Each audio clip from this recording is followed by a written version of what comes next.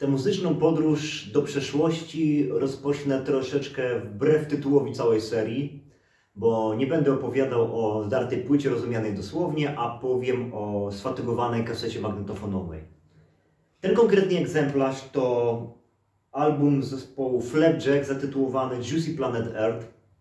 Jest to album z 1997 roku, e, trzeci w ich dorobku, jak się później okazało, ostatni. Po wielu latach grupa się e, reaktywowała, ale to jest zupełnie inna historia. Natomiast ten album e, wywarł na mnie wówczas wielkie wrażenie. Słuchałem go wielo, wielokrotnie. Należałoby tutaj pokrótce powiedzieć, czym jest zespół Flapjack. Otóż E, jest to projekt dwóch muzyków z zespołu Acid Drinkers, e, czyli Roberta, Roberta Friedricha, e, zwanego Licą, jest to gitarzysta, i Macieja Starosty, ślimaka, perkusista zespołu Acid Drinkers. Wraz z innymi koleżami założyli zespół, w którym mieli realizować pomysł grania e, inspirowanego nowojorskim hardcorem, trash metalem, zrapowanym, e, zrapowanym, skandowanym wokalem. I to właśnie realizowali na dwóch pierwszych płytach Flapjacka. Natomiast ta płyta jest zupełnie inna. Kiedy ją pierwszy raz usłyszałem, no zrobiła na, na mnie piorunujące wrażenie. Od razu powiem, że nie jestem żadnym fanem muzyki metalowej, miłośnikiem, znawcą. Dlatego też może ta płyta trafiła na tak podatny grunt, bo gdybym był miłośnikiem był poprzednich albumów, to czułbym się w jakiś sposób rozczarowany, że to e, nie jest to samo, nie jest to kontynuacja wcześniejszych dokonań. No a tak płyta trafiła na podatny grunt i, i po prostu wywarła na mnie takie wrażenie, że w tamtym czasie utożsamiałem się z tymi dźwiękami w 100%. E, jest to nadal ostre gitarowe granie, tak jak na poprzednich albumach, ale tutaj ta agresja nie jest celem w samym sobie. Tu nie chodzi o wykrzyczenie jakichś manifestów, E, oprócz tego pojawiają się również e, instrumenty takie jak klawisze, pojawia się automat perkusyjny, pojawiają się sample, jakieś wokalizy, troszeczkę psychodeli. Wszystko to powoduje, że ten album na niektórych wywarł wielkie wrażenie i są jego zwolennikami. Jest też taka grupa, która tęskniła za wcześniejszym Flapjackiem. Mm, samo przygotowanie tego albumu było bardzo ciekawe. Na dole umieszczę e, dla Państwa wywiad z okazji dwudziestolecia powstania tego albumu, wywiad z Jackiem Harplakiem, który był głównym kompozytorem na tym albumie. E, sytuacja wyglądała w taki sposób, że na wcześniejszych płytach to Robert Friedrich był głównym kompozytorem, on trzymał zespół w ryzach, nadawał ton, pozostali muzycy się temu podporządkowali, tworzyli taki zgodny organizm.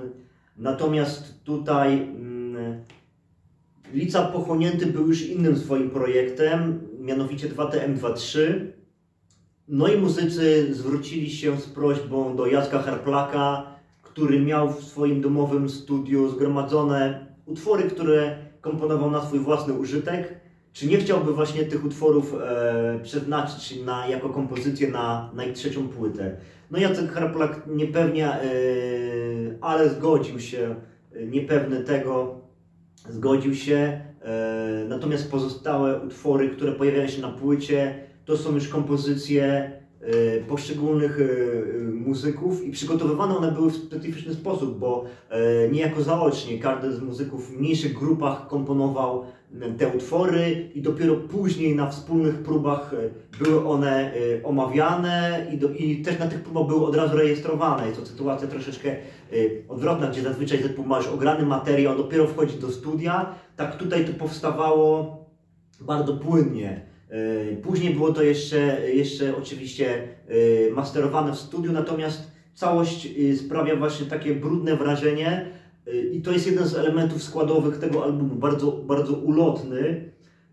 Nawet teraz, kiedy po latach słuchałem tego albumu, próbowałem go tak rozebrać na czynniki pierwsze, jest mi to trudne, jest mi to tyle trudne, że zawsze postrzegam go jako, jako całość i w momencie, kiedy zaczynam go odsłuchiwać, to daje się ponieść tej historii. Poszczególne utwory są różne od siebie, ale każdy jest jakąś opowieścią zamkniętą, która intuicyjnie wyczuwamy, że w jakiś sposób odnosi się do następnego, do następnego utworu, kolejnej opowieści. E, no i całość broni się po tylu latach na, nadal e, świeżością brzmienia, świeżością spojrzenia e, na muzykę z kręgu, nazwijmy to muzyki, muzyki metalowej. Niestety Jacek Harplak już e, nie jest w składzie zespołu Flapjack. Zespół Flapjack w 2012 roku reaktywował się. No i tutaj taka ciekawostka, otóż po tej reaktywacji dla zespołu Flapjack Mój kolega e, ze szkoły średniej zrealizował e, dla nich teledysk.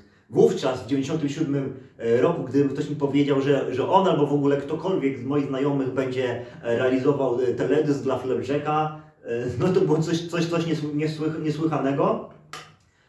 A tutaj po prostu po latach tak, takie, takie, takie zaskoczenie. Podsumowując, komu mogę polecić album Juicy Planet Earth?